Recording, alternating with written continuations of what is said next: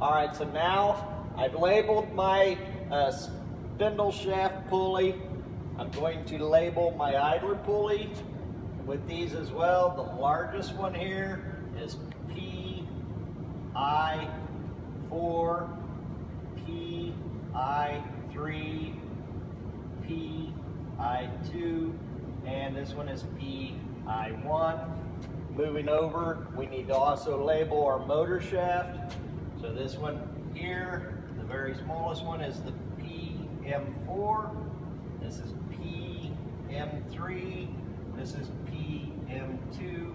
And our biggest one right here is PM of 1.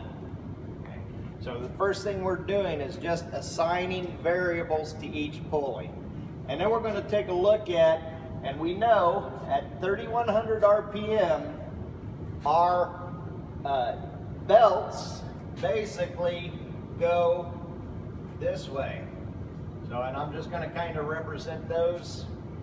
So we got the belts over here, and then the smaller belt goes between these two pulleys there. So we're gonna be concentrating on PSD, PI4, PI1, and PM1 are the pulleys that we're going to look at when we determine, because we know that this gives us a spindle RPM on our shaft of 3100 RPM.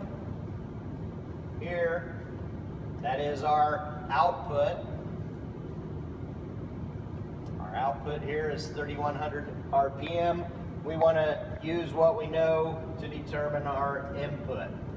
So the next videos I will go ahead and I will show uh, how we do our calculations here with our input. So